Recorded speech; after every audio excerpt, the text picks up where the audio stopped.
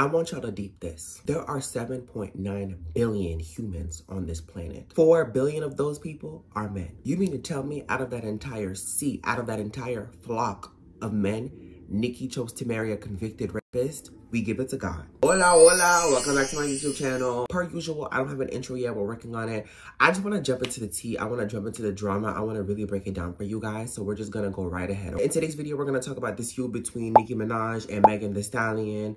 It's been ongoing for a couple of years now. It's really been pretty much one-sided, like Nicki's beefing with herself. Up until recently, of course, you know, Meg put out this new song where she took a couple of shots at a few unnamed celebrities one of which people are speculating is Nicki Minaj's husband. So we're gonna get into all those things. I'm gonna give you guys a bit of a deep dive and talk about my opinions, my perspective. As many of y'all know, I've been critiquing Nicki Minaj for a while now. For those who follow me on other apps, TikTok, Twitter, you know the run-in I had with the barbs. Y'all know how many times the stand base has banded together to incite a smear campaign against me for speaking real. And each time the smear campaign attempt fell flat because I always have receipts, but I'm also speaking real. Like there's not really much you can fight back against or refute when somebody's spitting some real shit. I've been in support of Jennifer Hough. She is the victim of Kenneth Petty, Nicki Minaj's husband. I've been keeping up with Jennifer Hough, I hope I'm saying that right, since before her interview with The Real in 2021. In that interview, she detailed the assault that took place between her and Kenneth Petty. And ever since I've been outspoken about Nicki's antics and the many ways in which she's attempted to silence this victim, pay her off, malign anybody else who speaks up on the fuck shit that we're all witnessing, her fans follow suit in droves in an attempt to admonish and silence people who are in support of Jennifer Hough. Again, going back to my experience with the Barbs, I would have to make another video to really sit down and go into detail about how I have never in my lifetime seen a stand-up, a fan base move as messy and as destructive as the barbs do. The barbs are a hive mind functioning off one singular brain cell. These bitches are tapped. Like their sole function is to stream and bitch online. I promise you. I mean, from children to adults, these are people who've been recruited through various social mediums to perform unpaid labor in the form of streaming, falsifying information, fabricating screenshots, arguing on the internet. I mean, these girls work overtime, no benefits, no 401k, no time off, just an Apple Music subscription and vibes. Like, I'm really scared. I mean, I don't know. And especially when it comes to the younger folk that I come across on the internet who are actively caping for this woman, I'm concerned about whether or not child labor laws are being enforced. Like, it's really scary to me. And again, this is all stuff that I can address in a separate video. I can really give you guys a, a, a detailed breakdown of the psychology of these people because together as a fan base, they really are a phenomenon. Like, there will be case studies done in the future. There will be case studies. There will be articles. There will be peer-reviewed sources detailing the delusion that we have seen coming from that stand base time and time and time again. I promise you. Now I have my phone out because I want to make sure I'm I'm going point by point. I don't want to miss anything in this video. To get started, we're going to talk about where exactly Meg and Nicki's beef originated, how we got here, before I can give you guys a full, well-rounded analysis and perspective on my take on this entire situation. So in 2019, obviously y'all know Meg and Nicki had the Hot Girl Summer collab. That was Mm. Great gowns. Mwah, no thoughts. Then on August 7th, 2020, we get a song with Meg featuring Cardi called WAP. Now, I'm not going to go into how Nicki and Cardi started beefing. I feel like that's a whole lot, but most people are privy to the fact that they're not friends. In that same year, July 12th, 2020, Megan is assaulted by Tory Lanez. He physically assaults her by way of a gunshot to the foot. Now, tensions are slowly brewing because in January 2021, Nicki unfollows Megan on Instagram. And this is very likely in response to the fact that Nicki didn't take a liking to Meg and Cardi having a collaboration together. So in May 2021, Nicki releases this song called Seeing Green. I think it came out as a single. And in that song, there's a lyric that states, these bitches thirsty, I can see why they alcoholics. Now I want you to remember that alcoholic piece because it'll rear its head again later in conversation. So that was in 2021. In September 2022, on an episode of Queen's Radio, Nicki tells this story about an unnamed female rapper who tried to pressure her into consuming alcohol while she was pregnant. At the time, she also alleged that this rapper told her to get an abortion. Now, you guys know, like in the earlier stages of Megan's career, she was kind of known for the whole like drive the boat thing. You know, at parties and stuff, you could tell she's like the life of the party. Like she would give the girls some alcohol, pour it down their throat. It was like a whole moment. So once that little audio clip from Nicki's interview started making its rounds on the internet, people were obviously like, oh, this is Meg. Like she's talking about Meg. To which Meg hops on Twitter and responds, no, this is a lie. This is not true. Part of me, and I'm, listen, this is just my opinion. Part of me feels like Nicki was trying to establish or create an air of controversy in the sense that like Megan was trying to coerce her. There's specific language that we use to talk about abuse, to talk about assault, to talk about a violation of consent. And that language is what Nicki was employing against Meg in that situation. And I find that rather insidious given the ways in which Nicki has gone so hard on behalf of predators, abusers, rapists, admitted, convicted, you are a grown woman in your 40s. You really expect us to believe that Megan at 24 had enough pull, had enough power to force you to drink alcohol, told you to get this supposed baby aborted. And I say supposed because at the time, she may or may not have been pregnant. You're a grown woman, Nicki. You're 40.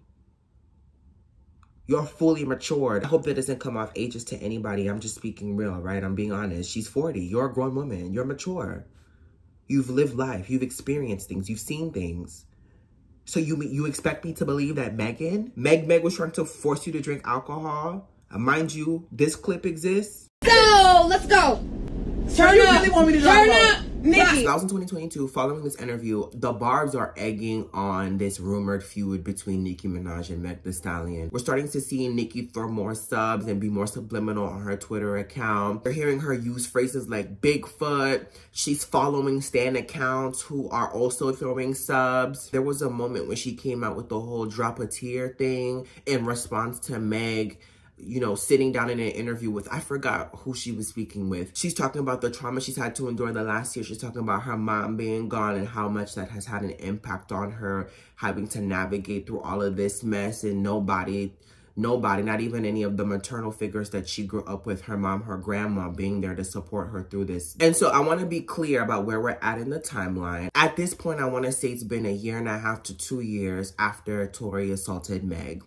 Meg has become the target of incels and misogynists, all of whom are seeking to discredit and disparage her. In addition, she's also having to deal with this lady's stand base. Like these barbs are incessantly mocking, harassing her, making light of her trauma. In March of 2023, Nicki Minaj releases Red Ruby Da Sleaze, in which she raps, I don't fuck with horses. I, I don't fuck, uh-oh. I don't fuck with horses since Christopher Reeves. Now, I mean, it's not rocket science. It don't take rocket science to figure out who she's speaking about. It's her entire branding and persona as a girl from Houston. Like, she's a stallion. She's a tall girl. She's a baddie. So keep this in mind as we're discussing the events that are unfolding in 2024. Nicki Minaj was already making use of the whole Bigfoot, horse emoji, drop a tear. She was already throwing jabs unprovoked. None of this was beef incited by Megan. None of this was as a result of Megan saying anything about Nicki in the public. This was Nicki being messy from jump. So here we are in 2024. Meg puts out Hiss. She's saying everything that she's been holding onto, everything that she's been holding in words, all the things that she wanted to say with her chest. Meg is throwing shots at various unnamed folks. This could be celebrities. This could be people that we just don't have a clue about. People who've contributed to harassment, people who've been bad-mouthing her name, people who've been supporting and uplifting other abusers, an example, R. Kelly. In this song, Hiss, that Megan released, there's a bar, a lyric that reads, these hoes don't be mad at Megan, these hoes mad at Megan's Law. For those of y'all who don't know, Megan's Law is the federal law in the United States that requires law enforcement to alert communities and make information available to the public regarding registered offenders in their respective area, including a change in address or employment, okay? Side note, when you really sit down and deep the research and intellect that it took for her to deliver this bar, and the way in which it worked, given the context of all the shit that's happened to her and given the context of like Nicki's husband. Like, I mean, the, it it's chef's kiss genius. Like I had to give my sister her tens. Now, even though no names were mentioned, I mean, again, it doesn't take rocket science to know that this was a direct shot at Nicki Minaj's husband, Kenneth Petty. Kenneth Petty is a convicted and admitted, admitted, admitted rapist, rapist who refused to register as a offender in the state of California for his crimes against Jennifer Hough. Within minutes to an hour of that song dropping, Nicki was already on IG Live, going batshit crazy.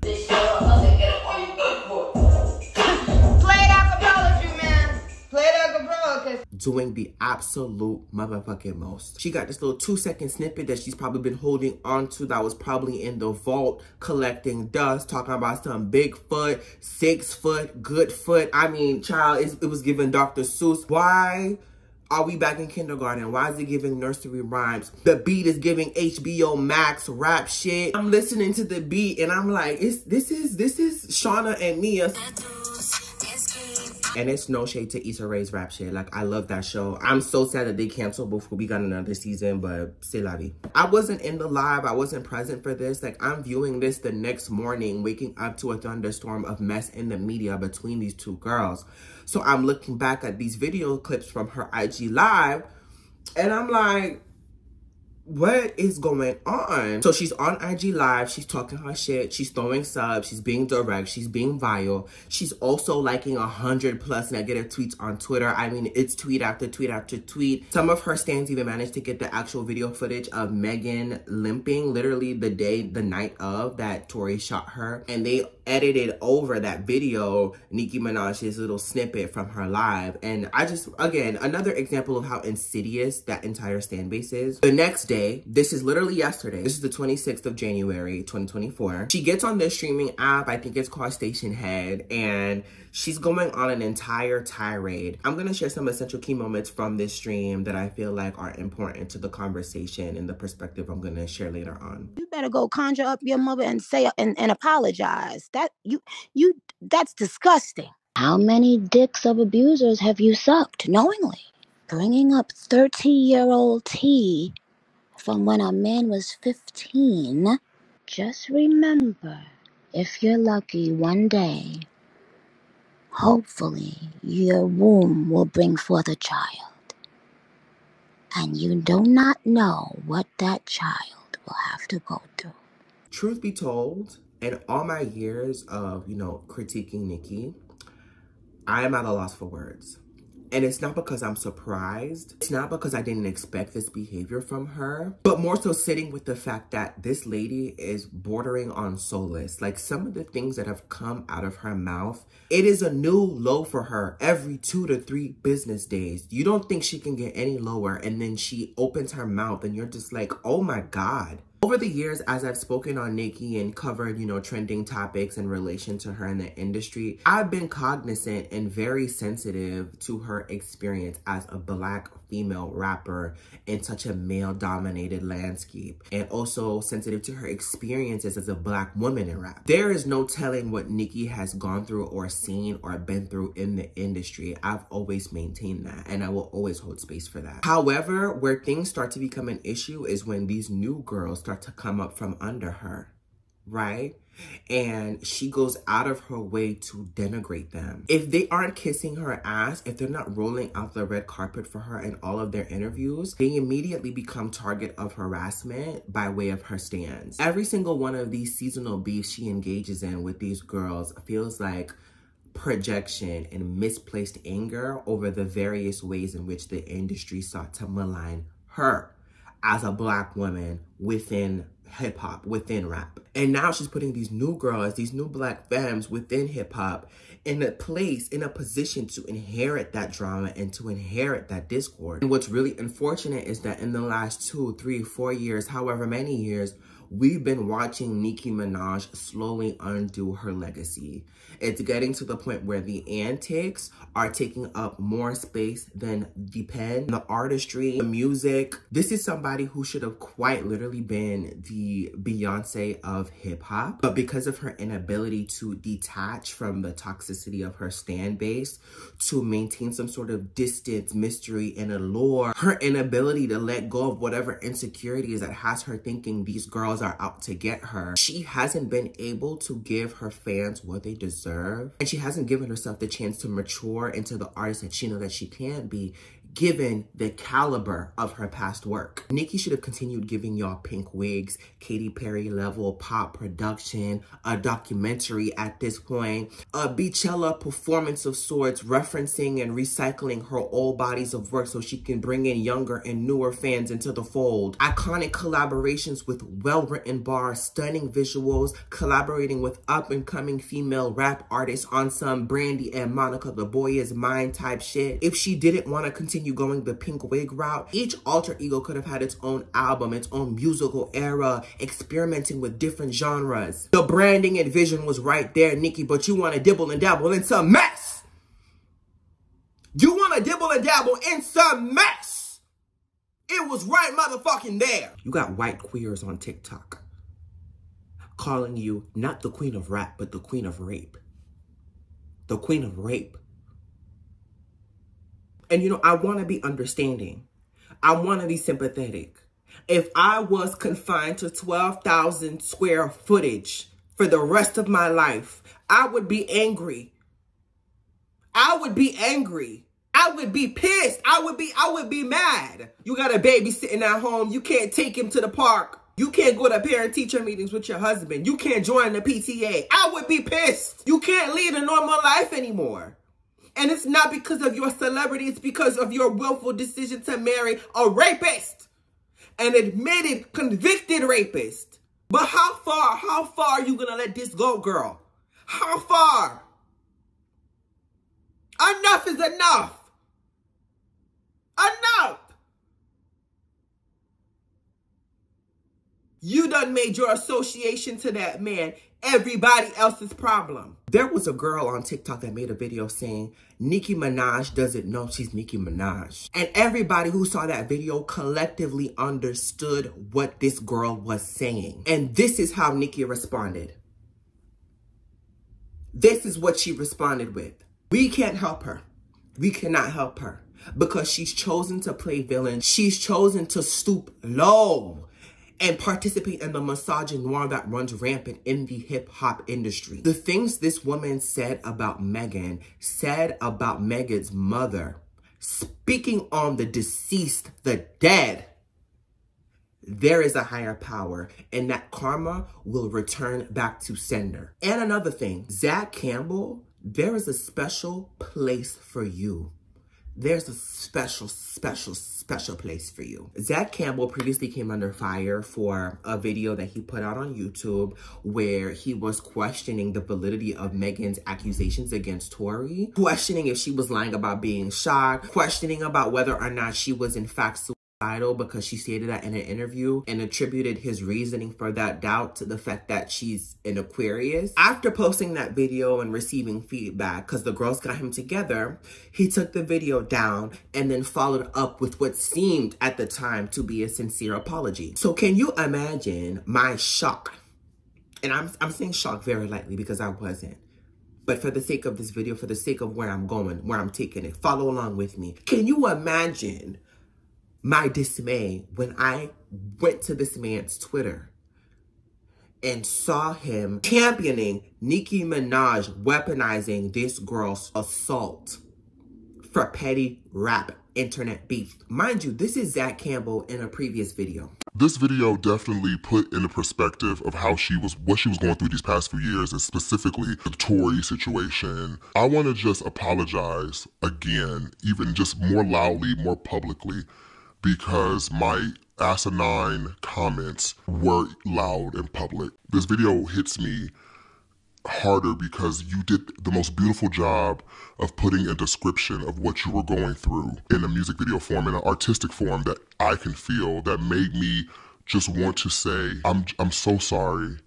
I'm beyond sorry actually. Trying to dumb down, water down your experience to make it digestible for entertainment, to make it funny, to make it a laughing situation. And that's why it hurt so many people that was mad at me about that, but also you. Because I'm spectating, talking, and I'm not helping. I speak about black women, I speak about loving black women. My job as a black man is to do, is to listen. And I apologize to all black women out there that felt like in that moment when I made stupid comments about her situation, try to make it funny, make it a joke, or not even believe what she said. Do these tweets align with somebody who purports to be an advocate and a supporter of victims? Victims of violence? Black women? Do these tweets align with what y'all just heard in that video? I think the fuck not. I've had very unfavorable opinions about Zach Campbell. I'm not gonna lie to you. I'm not gonna lie to you.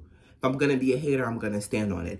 I've had very unfavorable opinions about him. I just feel like he's incompetent. I feel like he is just a reaction channel and that is just the way people should engage him. He is not somebody that possesses any sort of intellect, any true intellect when it comes to music and the way people consume it.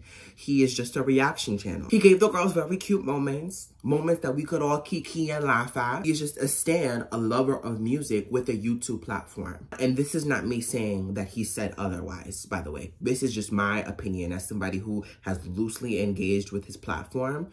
This is just my analysis of the role he plays in the internet landscape when it comes to music, criticism, music reviews, pop cultural commentary, or debates. I just don't feel like he's competent. I don't think he has the language. I don't think he's that girl. My personal opinion of him, you cannot say, you cannot purport yourself to be a supporter of black women if you're willing to stoop this low and champion and celebrate a woman weaponizing and making light of this girl's trauma and assault by another fellow peer in the rap industry. Regardless of your feelings and opinions of Megan, regardless of whether or not you think she's an opportunist, regardless of whether you think she's mean or not, this girl has done nothing wrong.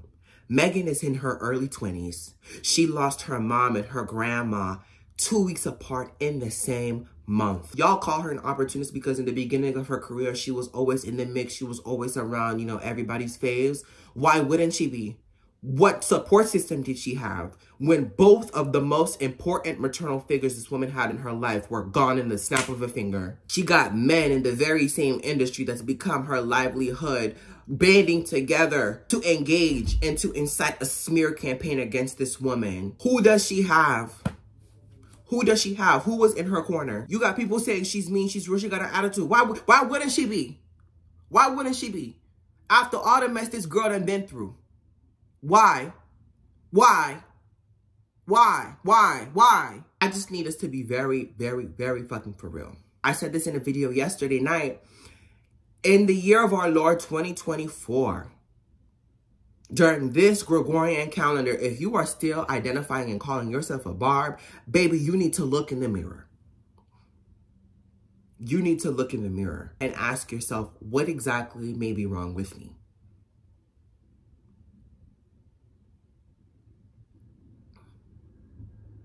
and I, I mean, I'm, I feel delusional saying this. If her being married to a rapist wasn't enough, surely, surely her speaking on this girl, speaking on this girl's mother, speaking on the dead might move you to find a heart. And here's one last point I want to make. There was a moment during Nicki's life where she was mocking Meg's Houstonian accent.